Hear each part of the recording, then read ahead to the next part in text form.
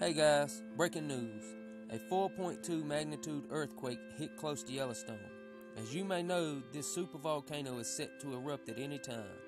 Could this 4.2 magnitude earthquake set the volcano off? If you didn't know, Yellowstone's supervolcano is the most dangerous volcano in the world. If it erupts, there will be lots of damage and possible loss of life. So let's just hope it doesn't erupt, guys. I will keep you updated throughout the day if anything does happen. And until next time, thanks for watching. Please subscribe if you're not subscribed. And uh, yeah, I'll see you next time.